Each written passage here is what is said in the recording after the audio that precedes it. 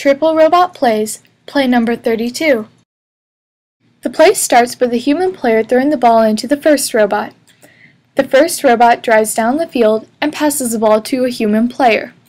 The human player then throws the ball to the second robot, plus 10 points for an assist because the zone and robot have both changed.